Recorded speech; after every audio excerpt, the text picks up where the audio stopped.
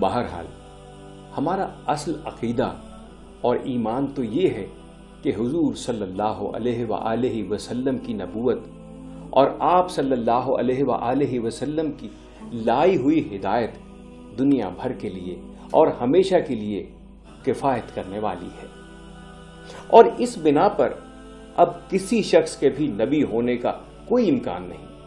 اور جو شخص بھی اب نبوت کا دعویٰ کرے ہم اس کو کاذب اور اللہ پر افطرا کرنے والا سمجھیں گے۔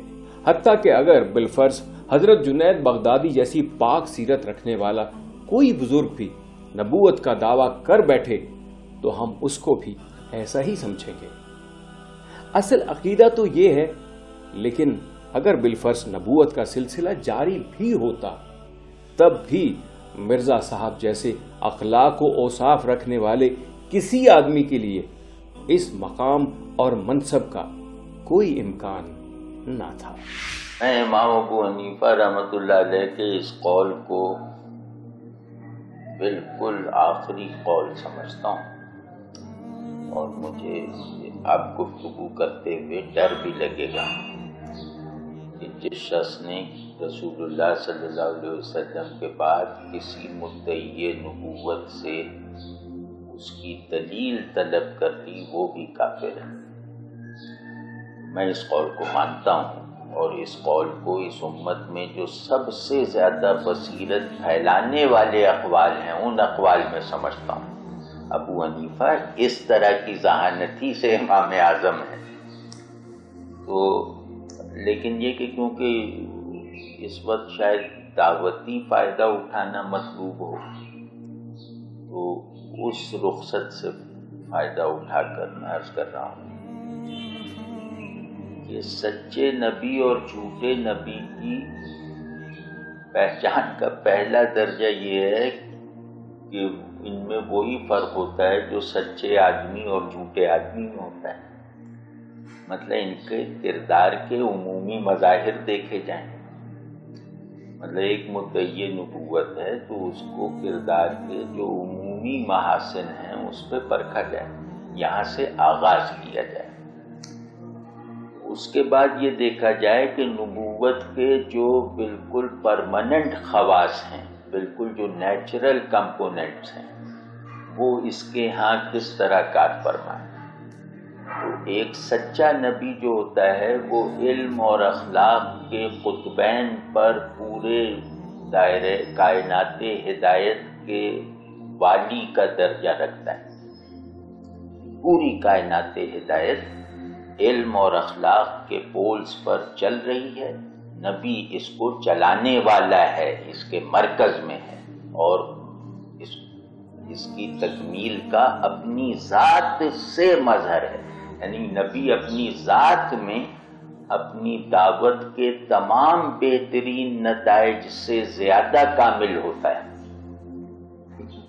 تو اگر اس پہ یہ یہ ایک پیمانہ ہے، تو اس پیمانے پہ اگر بس کہ ہم مرزا غلام احمد صاحب کی چیزوں کو، ان کی شخصیت کو دیکھیں، تو ایک دم ایک عجیب سی ہچکچاہٹ ہونے لگے گی۔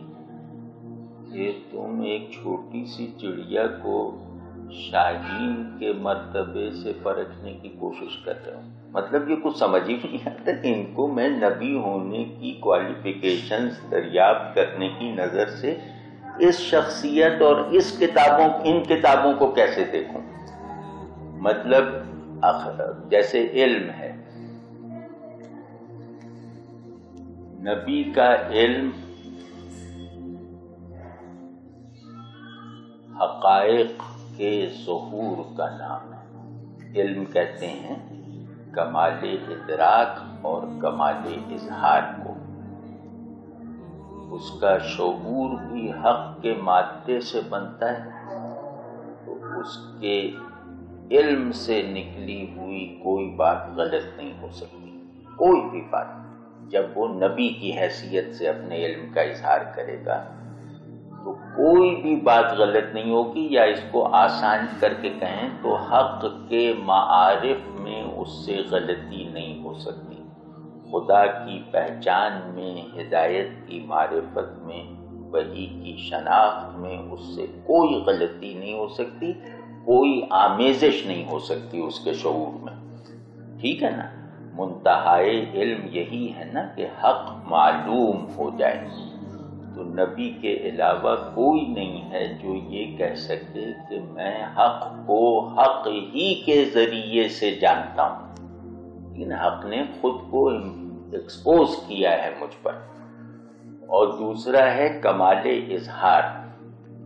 کمال ادراک تو بات ہوگا کہ وہ خلق کو بھی اصول حق پر جانتا ہے۔ اس کے ہر علم کا معلوم اللہ ہوتا ہے۔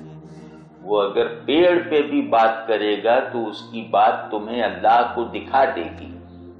وہ ہنسے گا بھی تو اللہ کے جمال کا مظہر بن جائے گا۔ وہ غضبناک ہوگا تو اللہ کے جلال کا نمائندہ بن جائے گا۔ اور اس مظہریت اور نمائندگی میں کوئی ربط ڈھونڈنے کی ضرورت ہی محسوس نہیں ہوگی۔ اس کا جلال خدا کے جلال کو حاضر کر دے گا۔ اس کا جمال خدا کی رحمت کو حضور میں لے آتا ہے۔ تو خیر، یہ یہ وہ ہے جو ہم رسول اللہ صلی اللہ علیہ وسلم کی طرف اپنی آجزانہ نگاہ سے دیکھتے ہوئے عکس کر کے کہہ رہے ہیں۔ تو پھر دوسرا جز علم کا ہے، کمال اظہار۔ کہ وہ نہ صرف یہ کہ عالم حق ہو، بلکہ معلم حق بھی ہو۔ نبی ان دونوں جہتوں پر ہوتا ہے۔ خود عارف ہوتا ہے اور عارف بنانے والا ہوتا ہے۔ تو ہاتھی کہتے ہی اسے ہیں کہ شعور کے جوہر کو وجود میں لے آنا، شعور کو وجود پہ غالب کر دکھانا۔ ہاتھی اس کا نام ہوتا ہے، نبی یہ ہستی ہوتا ہے۔ تو کمال اظہار میں کئی چیزیں آتی ہیں، لیکن ان میں سے مثال طور پہ ایک چیز کا میں ذکر کرتا ہوں۔ کہ اظہار کا مقصود ہے تاثیر معنی پیدا کرنا، معنی کو مخاطب کے لیے مؤثر بنانا۔ یعنی جو اس کے دماغ کو سیراب کرتے ہوئے اس کے دل کو بھی سرشار کر دے، یہ معنی کی تاثیر ہوتی ہے۔ تو نبی کا ہر کلام اس جہت تاثیر میں آخری نمونہ کمال ہوتا ہے۔ اس کا حرف و حرف ذہن کی خزاں کو دور کرتا ہے، قلب کے اندھیرے کو رفع کر دیتا ہے۔ اب اس کمال اظہار پہ اگر ہم رہ کے دیکھیں اور اس منتہا علم کو، تو مرزا صاحب کی کتابوں میں علم حق ایک ایوریج عالم جیسا بھی نظر نہیں آتا۔ کی تمام کتابوں کو آپ دیکھ جائیں، ان کا تصور خدا برآمد کریں وہ تصور خدا ایک آمیانہ ذہن سے پیدا ہونے والا تصور خدا ہے۔ میں معذرت چاہتا ہوں کیا اور اسی طرح ان کے نمونہ ہائے اظہار دیکھیں تو وہ ایک اناڑی مصنف کی تحریریں ہیں۔ ایک چالاک مقرر کی تقریریں اور ایک متکبر آدمی کا سیلف ایکسپریشن ہے۔ یہ میں ان کی کوئی کتاب کہیں سے بھی کھول لی جائے۔ اس میں یہ تین چیزیں اور جھوٹ۔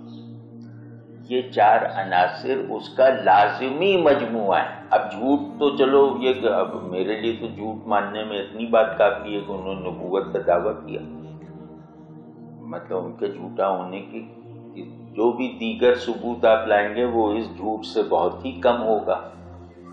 لیکن ہم اس بات کو بالکل کلینکل اسکیل پہ لے جا کے اگر دیکھیں، تو آپ دیکھیں کہ وہ واقعات کے بیان میں غلط بیانی کرتے ہیں۔ وہ اپنے منصوبے جو وہ وہی کی بنیاد پہ بناتے ہیں، ان منصوبوں کو جب پورا کرنے کی قدرت نہیں پاتے تو ان منصوبوں میں تحریر کرتے اس طرح کے ان کے بہت سارے، یا یہ کہ اپنے نصب کے بارے میں جو انہوں نے یعنی شجرہ بدل لینے تک کی جو وہ ایک وہ مہم چلائی تھی کہ کیا تھے، مغل تھے، پھر فارسی نسل ہو گئے۔ تو یہ سب چیزیں جو ہیں وہ جھوٹ کی جو عامیانہ سطحیں ہیں نا، جو دکانداروں کی، جو سڑک پہ چلنے والے رہزنوں کی، جو پولیس کی تحویل میں آنے والے مجرموں میں جو جھوٹ کی جو سطح ہوتی ہے، یہ اس طرح کی سطح ہے۔ مطلب یہ ایک ایسی سطح ہے کہ گنہگار آدمی بھی اس سطح سے خود کو منسوب کرنا گوارا نہیں کرے گا۔ یہ مرزا غلام احمد اور ان کے دعووں کے بارے میں غور و خوص کرنے کا اصولی طریقہ ہے۔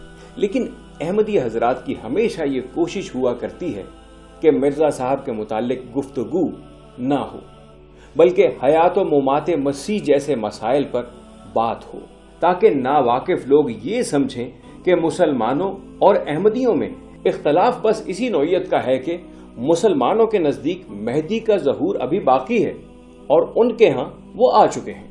یا بعض آیتوں کے معنی مسلمان علماء کچھ اور بیان کرتے ہیں اور احمدی کچھ اور۔ اس طرح سے وہ یہ تاثر قائم کرنا چاہتے ہیں کہ احمدی بھی مسلمانوں کا ایک فرقہ ہے۔ حالانکہ اصل حقیقت یہ ہے کہ مسلمانوں اور احمدیوں کے اختلاف کی نوعیت دوسرے اسلامی فرقوں کے باہمی اختلاف سے بالکل مختلف کچھ چیزیں ایسی ہوتی ہیں جس میں آپ اختلاف برداشت کر لیتے ہیں، اختراع برداشت کر لیتے ہیں جدت برداشت کر لیتے ہیں، چھوٹے موٹے جو انحرافات ہیں، وہ برداشت کر لیتے ہیں۔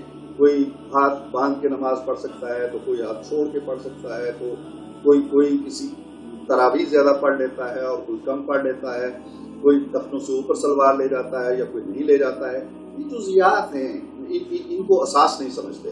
یا اس سے بھی ذرا آگے چلے جائیں تو وہ چیزیں اساسی نہیں لیکن یہ جو مسئلہ ہے ختم نبوت کا یعنی حضور صلی اللہ علیہ وسلم کی رسالت کا، اور رسالت کی ایک ایسی ایسی رسالت، یہاں یہ باب بند ہو گیا۔ اس اس چیز کی اگر اس بندش کو آپ کھول دیتے ہیں نا، اس کی ذرا سی جس طرح ایک کپڑے کا ایک ذرا سا بخیا ادھر جاتا ہے نا، تو پھر آپ اسے سلامت نہیں رکھ سکتے۔ تو میرا خیال ہے کہ مسلمانوں کی سینسٹیوٹی ضرورت سے زیادہ حساسیت آئی آئی ہے اس میں اور آنی چاہیے تھی۔ اس کی وجہ یہی ہے کہ وہ یہ سمجھتے ہیں کہ اللہ تعالیٰ کی وعدانیت تو اس میں تو کوئی رکھنا اندازی کرنا ہی محال ہے۔ لیکن اگر حضور صلی اللہ علیہ وسلم کی رسالت کے اوپر، ان کے ختمی مرتبت ہونے کے اوپر بھی ایک زبردست مصدقہ اور مکمل مور نہ لگ گئی اور کسی کو کسی بھی علمی بہانے سے، جواز سے، کسی بھی اختراع سے اس کے اندر کوئی رکھنا اندازی کی گنجائش پیدا کر دی گئی اور اس کو برداشت کر لیا گیا، تو پھر شاید یہ سلسلہ نہ رکے۔